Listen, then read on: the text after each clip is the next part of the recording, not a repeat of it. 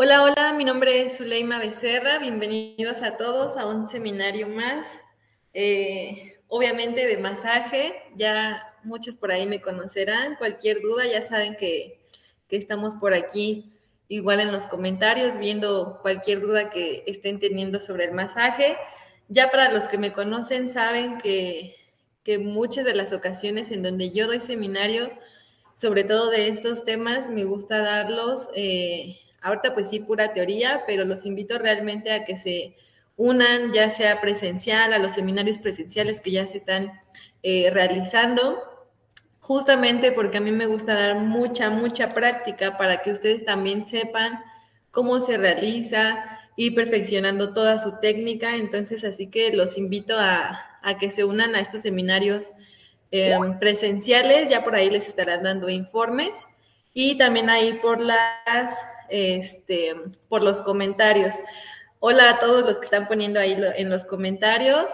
Qué gusto que estén aquí. Bienvenidos, ¿vale? Vamos a empezar.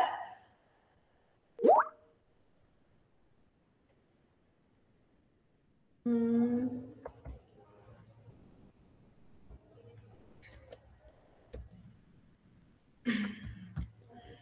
Con la presentación.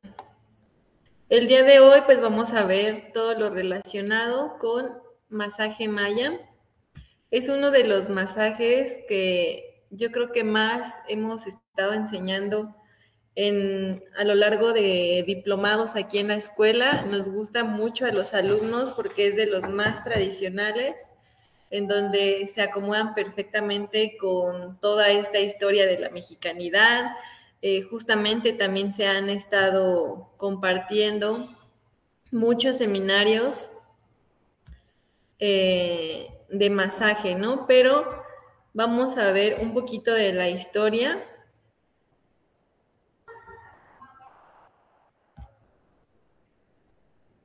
Mm, Igual, cualquier duda que tengan para los que se van integrando,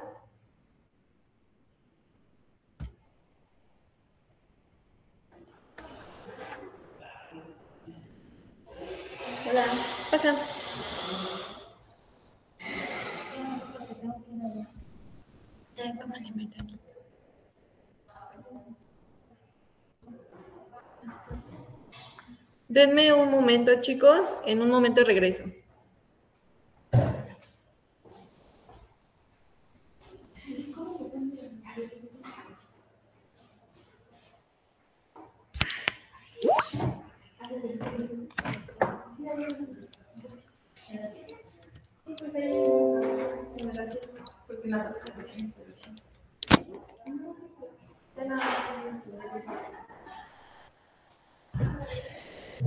Listo, ahora sí.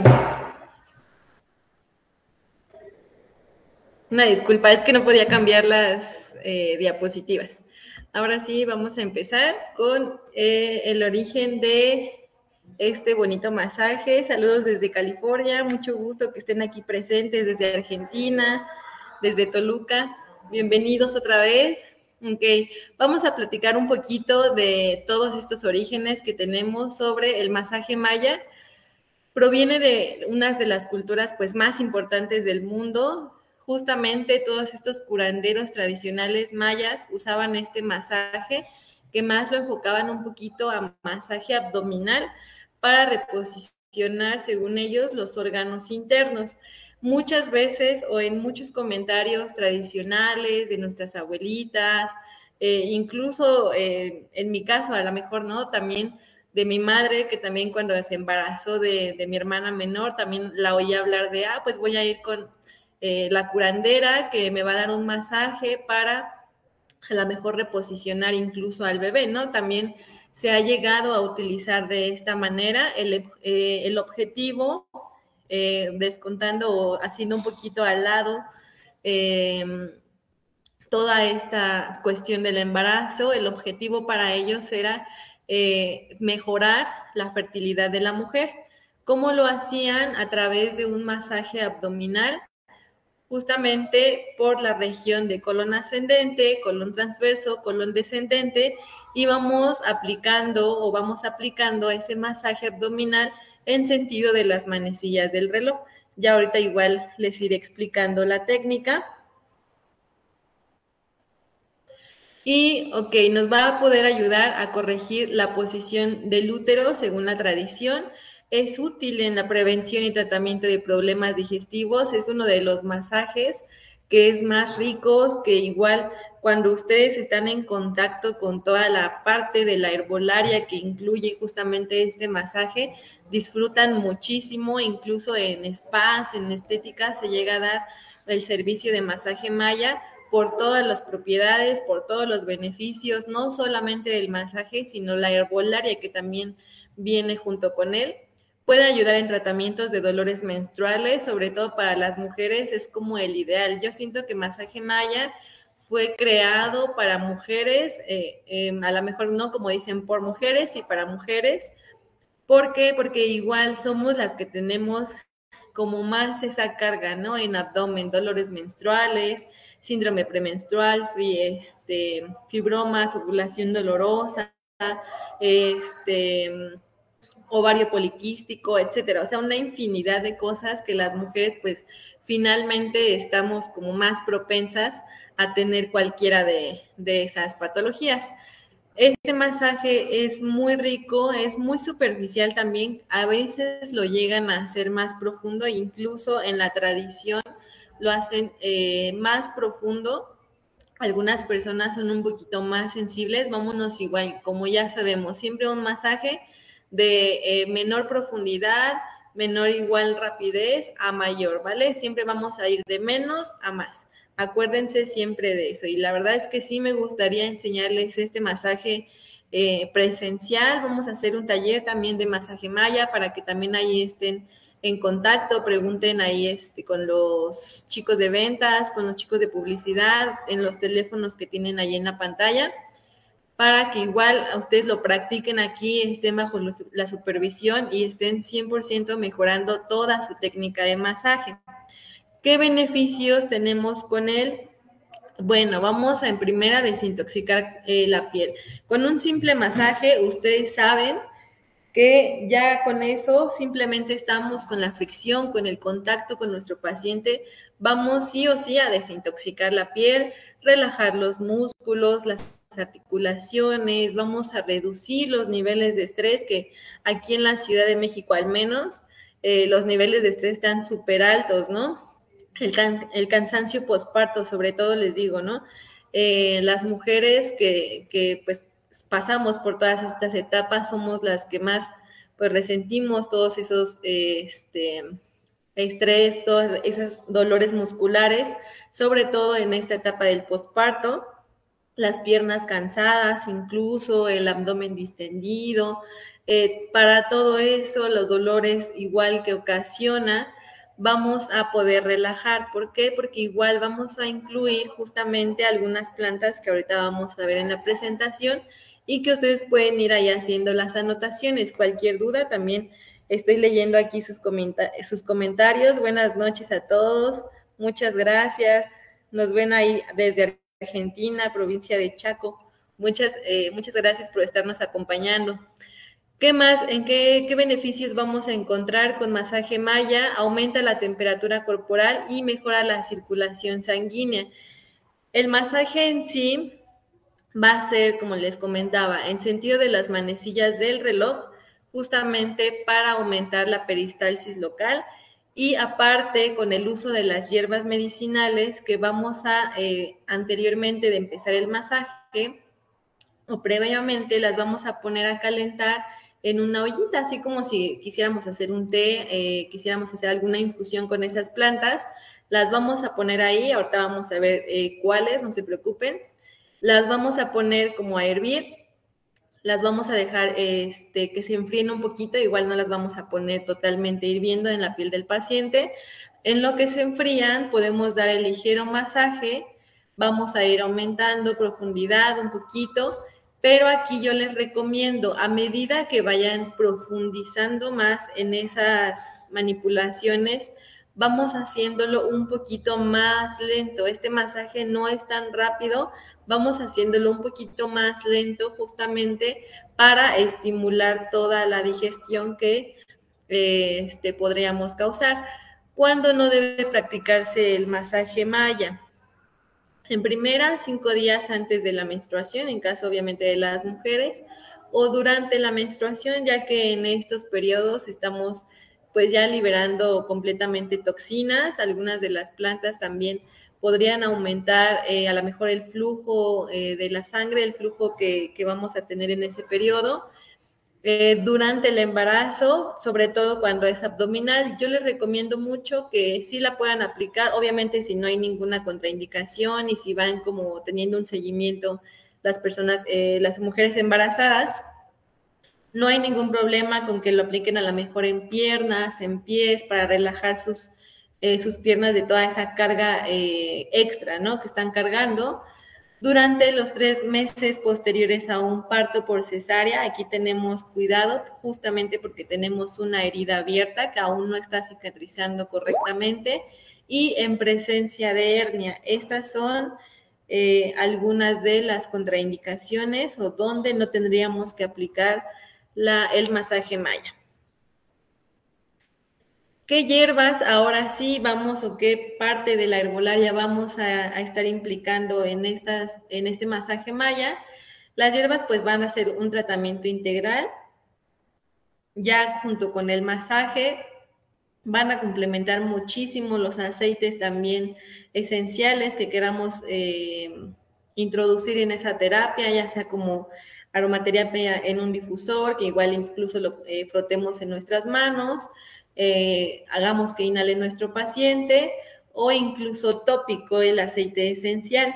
Aparte también de que vamos a ir calentando los músculos, vamos a abrir, eh, la tradición nos dice los meridianos a nivel energético. Aquí ya nos estamos metiendo un poquito más eh, con toda esa energía, no solamente con el cuerpo, sino con la energía. Y creo que con cualquier masaje, y ustedes lo saben, estamos trabajando directamente con la energía tanto del paciente como la mía y vamos a estimular el sistema linfático. Por eso les digo, en embarazadas o postparto, en donde la mujer está con las piernas eh, llenas de edema, ahí eh, vamos a estimular justamente el sistema linfático que va a realizar justamente ese drenaje en donde vamos a liberarnos de todos esos líquidos retenidos.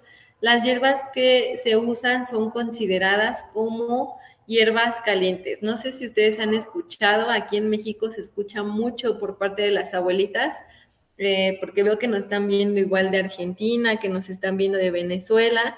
Aquí en México las abuelitas tienen esa eh, tradición, igual ahí váyanme diciendo cómo es que lo manejan allá las, las tradicionales.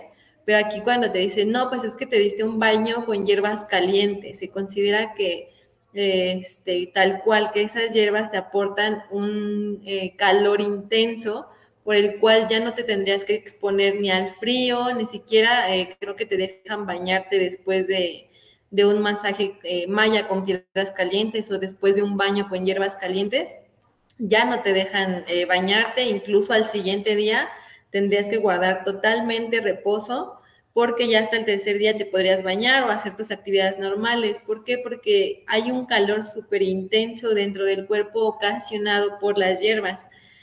Aquí en México lo eh, manejamos en las hierberías como ramo de baño o, este, o ramo posparto, en donde tiene una combinación aproximadamente de 21 hierbas. Algunos le ponen menos, algunas le ponen de más pero algún, este, vamos a estar aquí poniendo solamente unas de ellas, una lista, para que los que no nos ven desde México igual tengan más o menos la idea de cómo armar ese ramo con hierbas calientes y que puedan utilizarlo allá eh, dando un masaje o incluso si ustedes no saben todavía las manipulaciones de masaje, podrían nada más hacer una tipo de envoltura, ponen en la cazuelita a hervir las hierbas, la colocan directamente sobre el abdomen de su paciente y con eso eh, y con eso ya va a desinflamar, ya va a hacer el efecto totalmente las hierbas que ustedes utilicen. Ya no es necesario igual incluso el masaje. Aquí eh, yo les comentaba, en la escuela se les da toda la asesoría para que ustedes igual vayan perfeccionando esa técnica que muchas veces nos cuesta trabajo. Las propiedades de algunas de estas hierbas son astringentes, desinflamatorias y sobre todo desintoxicantes, ¿vale? Si van teniendo alguna duda, igual ya vi ahí que, que tenemos varios comentarios, me da mucho gusto que estén aquí presentes. Eh, de las hierbas, tenemos aquí la lista, entre ellas, pues la árnica, ¿no? Siempre creo que para todo mal o cualquier inflamación que yo he visto, siempre las abuelitas es, no, pues eh, ponte árnica o incluso tómate un té de árnica para que desinflames, ¿no? Es antihistamínico, antiinflamatorio, antiartrítico, así lo, lo vayan a, este, a conocer en algunas bibliografías anti, antineurálgico que igual todo el dolor afecta a los nervios de la cara, del cráneo, del cuello, debido a alguna compresión o alguna irritación de estos. Entonces, el árnica, ya sea en ungüento igual tomado, eh, o igual incluso como les comentaba, ¿no? La planta, eh, ponerla directamente sobre la zona afectada, te ayuda muchísimo a quitar el dolor. Es antibacteriano, colérico, que es el activador de la producción de la bilis como función hepática, y así la misma y sus sales, ¿vale? La salvia es otra de las plantas que ustedes pueden tener ahí eh, también en, este, en, su cabina, en el lugar en donde vayan a, impartir la terapia. ¿Por qué? Porque va a aliviar los síntomas, la de, los síntomas de la menopausia, es antiinflamatorio, mejora la digestión, va a regular el azúcar en la sangre, este te lo recomiendan bastante, igual en infusiones, la salvia. Efecto tónico en el sistema nervioso, ¿vale? Todos estos, ya sea tópico, ingerido, eh, te sirven de igual forma. Obviamente, pues va dirigido a cada padecimiento que tengamos, ¿no? Si tenemos alguna, eh, a lo mejor algún esguince, que esté a lo mejor ya después de las 72 horas que pasó el esguince, sin ningún problema podríamos, eh, podríamos poner para la, eh, este, para la inflamación que se produce, a lo mejor fomentos con árnica, con salvia, porque también es un antiinflamatorio. Otra de las plantas que vienen incluidas, ya sea en el ramo, como les digo, que ya lo venden, creo que ya está preparado en algunos mercados de, este, de hierberías aquí en México, es la malva, que esta tiene propiedades emolientes que suavizan las mucosas respiratorias y reducen también la inflamación. Si se dan cuenta, todos son este, para las inflamaciones. Entonces, imagínense lo que va a hacer este masaje, todo este eh, conjunto de hierbas en, por ejemplo, problemas menstruales o posparto, justamente como lo veníamos comentando. Funciona también la malva en afecciones del aparato digestivo, por ejemplo, sirven para tratar el estreñimiento o un estómago irritado. También se recomiendan cualquiera de estos, eh, algunas gotitas o incluso se llegan a hacer algunos remedios caseros también, ¿no? Que también igual aquí tenemos el diplomado de herbolaria, los invito a que, a que se inscriban para que igual aprendan más sobre todo este mundo de, de las plantas y cómo utilizarlas tenemos otro aliado que igual en muchas ocasiones, incluso en la medicina ayurveda, ya hemos estado dando algunos talleres también, eh, bueno, más bien seminarios, en donde comentábamos el uso de la ayurveda, también con las pindas calientes, que justamente todas estas plantas que estoy presentando aquí, ya sea que las utilicen, como les comentaba, como una envoltura, o que justamente las puedan eh, realizar a lo mejor combinar la medicina tradicional mexicana con la ayurveda, que son las pindas calientes. Ya también aquí tenemos un taller de pindas calientes, masaje con pindas, en donde todas estas hierbas van pero secas. Aquí en la tradicional mexicana se utilizan frescas en lo mejor posible para que absorbamos totalmente las propiedades de cada planta. En el Ayurveda, en algunas ocasiones te recomiendan que sean secas todas estas plantas en unos saquitos que se llaman pindas. Tú eh, justamente agarras una tela, pones un poquito de estas plantas, la amarras y con eso empiezas a dar el masaje. Obviamente también se tienen todo un proceso, se calientan, eh, se utiliza cierto aceite para dar el masaje en ciertas direcciones y la verdad es que toda la herbolaria surge este, o tiene más bien efectos como nada. ¿eh? El romero también eh, es un aromatizante, lo utilizan bastante, incluso creo que hay inciensos, todos los eh, aceites esenciales de romero. ¿Por qué? Porque igual calman al paciente, son antiestrés, son depurativos, estimulante estomacal, carminativo, diurético, etcétera, ¿no? El romero es maravilloso y igual les dejo aquí algunas de las imágenes de cada una por si alguien no la conoce. Esta es la salvia, el árnica, el romero y la malva. Así es como se ven para que igual más o menos los vayan reconociendo porque luego platicamos de tal planta y no la conocemos, ¿no? Entonces, más o menos aquí les dejé igual las imágenes para que ustedes las vayan reconociendo. Otras de las hierbas que podemos estar empleando son el pirul y la albahaca. Por su parte, el pirul es analgésica, antibacteriana, diurética, tiene este, igual propiedades balsámicas que incluso se llegan a hacer también cremas, líquidos, compuestos de sustancias medicinales, aromáticas y estas también se llegan a aplicar incluso sobre la piel para curar heridas, llagas y otras enfermedades. Y la verdad es que los resultados eh, son impresionantes. Cuando tienes alguna herida y a lo mejor llegas a hacer algún compuesto, alguna sustancia que tenga pirul, justamente eh, el proceso de cicatrización es un poquito más acelerado que así lo hubieras dejado este, cicatrizar solo, ¿no? Y por su parte, la albahaca va a fortalecer el sistema inmunológico, es antiestrés, también hay bastantes aceites esenciales que incluso lo llegan también a combinar, eh, hay aceites esenciales que los llegan a combinar como tal el albahaca y la he visto combinada con el, este, el romero también que es aromatizante. ¿Para qué? También para crear ese ambiente antiestrés. Ustedes cómo van a realizar esa aromaterapia, igual a lo mejor no tenemos la opción porque aceites esenciales hay diversas marcas, unos son de grado terapéutico, otros no, otros nada más son para eh, el difusor. También aquí damos el curso de uso de aceites esenciales, pero si ustedes aún no saben em, cómo manejar cada uno, tan simple como lo vamos a hacer con este masaje, poner hervir todo este conjunto eh, de, hierbas o este ramo medicinal y solito va desprendiendo el aroma. Y ya cuando tú entras a la cabina o al lugar en donde vas a estar realizando la terapia, entras con tu charolita ya con tus hierbas hervidas, el aroma es impresionante, impregna todo la habitación, huele muy rico, el paciente se relaja por el calor, no, es una cosa maravillosa. ¿Ok? Eh, también tiene propiedades la albahaca, la albahaca por su parte, propiedades sedantes, por lo cual es ideal también para tratar dolores de cabeza, ¿vale? Eh, tenemos otra planta que se llama sauco, que es diaforética. Esta provoca eh, la secreción de sudor, te va a hacer sudar.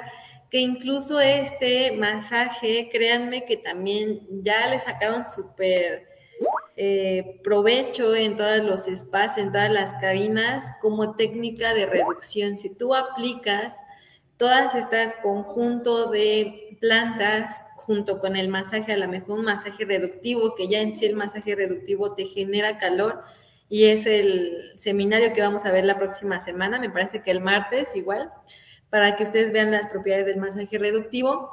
Si ustedes lo combinan, masaje reductivo con masaje maya, eh, ya te lo están vendiendo como tal, envoltura maya para reducción, justamente. Porque integra este sauco que va a provocar que empiece justamente esa sudoración, es expectorante y emoliente, ¿qué quiere decir? Que va a ablandar y va, o va a relajar la dureza ya sea de una inflamación o que eh, simplemente te va a hidratar bastante. Entonces, aparte de que vas a reducir, la piel se te va a ver súper increíble. La verdad, los resultados son increíbles con este masaje.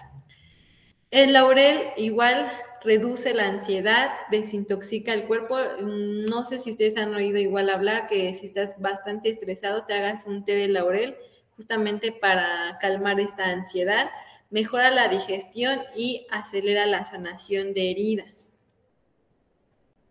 Y aquí tenemos también, como les decía, muchas veces conocemos, eh, a lo mejor oímos hablar, pero aquí les dejo esta imagen para que igual le tomen eh, ya sea una foto o que igual ustedes ahí investiguen de cada planta más propiedades. Obviamente cada una es un mundo diferente que hay que estar estudiando, pero así es como se ven estas plantitas para que los vayan conociendo. Tenemos otras por aquí que es la lavanda y manzanilla. Yo creo que de estas dos son como las que todos hemos estado escuchando eh, siempre, ¿no? Hablar de ellas.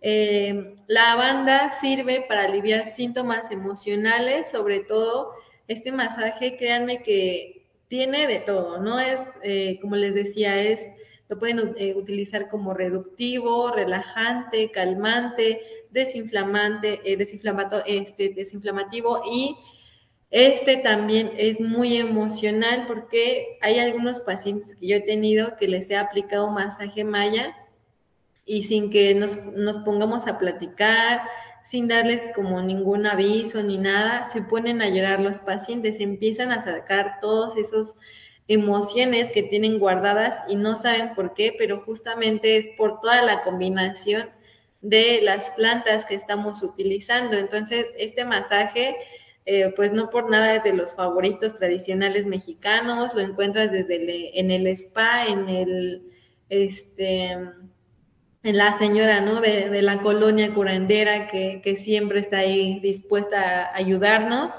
y sobre todo igual la banda ayuda a tener un mejor funcionamiento del sistema nervioso. Por su parte, la manzanilla disminuye la hiperactividad, es calmante, relajante, alivia el estrés, auxilia en el tratamiento también de la ansiedad, ayuda en el, tratamiento de problemas en el estómago, a controlar la mala digestión eh, y tratar úlceras en el estómago. Yo les recomiendo que aparte de incluirla, eh, sobre todo en el masaje, a lo mejor de, terminando le puedan hacer una infusión de manzanilla. Eh, si tienen un poquito de lavanda, estaría perfecto y que esa se la tome después, eh, inmediatamente después del masaje su paciente y verán realmente cómo se relaja, pero bastante, ¿eh? y van a regresar hasta por más. Ayuda en el tratamiento también la lavanda de este, aliviar los mareos, ¿vale? Por si en alguna ocasión se llega a marear su paciente por el calor o por las manipulaciones. Eh, por eso les decía, el té de manzanilla les ayuda bastante o la infusión de manzanilla. Tenemos la planta Santa María, que tiene un efecto, eh, efecto por su parte astringente, antiséptico, antiespasmódico, es carminativo, que es que el que va a producir o va a favorecer la disminución de la generación de gases en el tubo digestivo y con ello ayuda a disminuir eh, flatulencias y cólicos en dado caso de las mujeres, incluso igual esa se la llegan a poner a los bebés cuando tienen cólicos eh, también la calientan un poquito y se la ponen sobre el vientre a los bebés, justamente para aliviar estos cólicos. Tenemos otra planta que se llama colagogo, facilita la expulsión de bilis retenida en la vesícula biliar. Casi siempre van acompañados de acción purgante e intestinal si son ingeridos y tiene un efecto sedante. La ruda favorece la irrigación sanguínea. Esta es muy amarga para, para dársela eh, con infusión a, un paciente, pero igual tópica no deja de servir para las inflamaciones, dolores reumáticos, ayuda a regular o provocar igual la, menstruación si también la llegan a, a ingerir y es antiespasmódica. Y aquí tenemos lavanda, manzanilla, ruda y la planta de Santa María, ¿vale? Entonces, eh, yo siempre les comento, masaje es mucha práctica, de verdad, yo los invito a que se unan a los talleres que vamos a tener aquí en la escuela. Todos los de masaje están súper increíbles.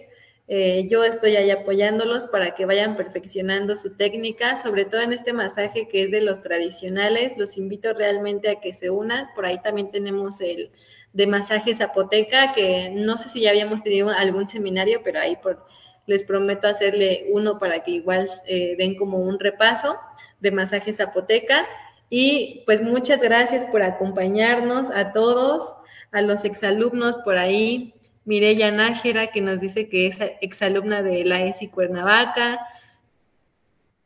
Saludos a todos, ¿vale? Muchas gracias por este, acompañarnos y nos vemos en el próximo seminario que será el día martes, que me parece que es de masaje reductivo, para que igual ahí se despeguen todas sus dudas. A lo mejor podemos incluir igual eh, algunas otras plantas que les ayudan en todo este proceso desinflamativo y nos vemos la próxima. Muchas gracias.